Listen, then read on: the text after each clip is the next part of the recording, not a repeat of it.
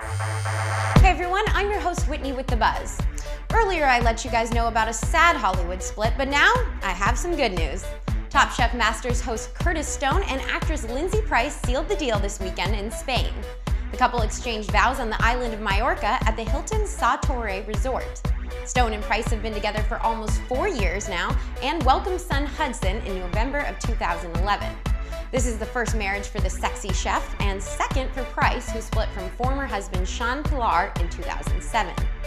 Price's former 90210 co-star Tiffani Amber Thiessen and her husband Brady Smith were among the couple's celebrity guests.